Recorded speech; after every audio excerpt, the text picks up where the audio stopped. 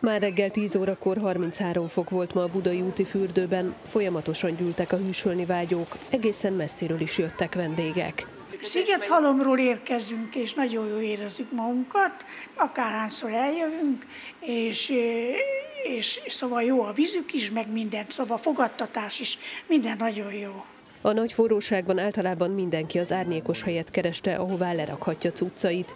Rengeteg letakart táskát láttunk, amikben nagy eséllyel komolyabb értékek is voltak, telefon, pénztárca vagy bankkártya.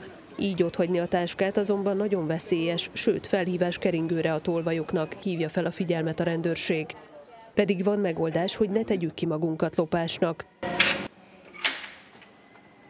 A belépő megvásárlásakor kapott órával saját zárható szekrényünk van, amiben minden személyes tárgyat, értéket betehetünk. Főépületünkben, a téli bejáratnál, ott a megszokott órás szekrényeink vannak, ugye az órát megkapják a pénztárnál, és az órával tudják zárni a vendégek a szekrényeket. A fogadóépületben a körforgalomnál, valamint a csúszdaparkban pedig kulcsos szekrények igényelhetők. Sajnos elég egyetlen óvatlan pillanat, vagy ha csak elmegyünk fürdeni és őrizetlenül hagyjuk a letakart táskát, és már is viszik a drága telefont vagy a pénztárcát. A képvegyes, sokan ragaszkodnak hozzá, hogy minden értéküket maguknál tartsák, de találkoztunk jó példával is. Betesszük a szekrénybe, ha, ha olyan, hát hozunk pénzt, meg telefont, elhozzuk magunk. Én ugyan nem hozom el, a lányom elhozza, barátom elhozza, de és akkor betesszük a szekrénybe, nem, nem visszük ki.